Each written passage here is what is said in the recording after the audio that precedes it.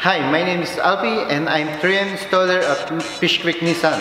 Today I'm gonna do a 3M on Nissan Rogue 2019 for the hood, fender, and mirror.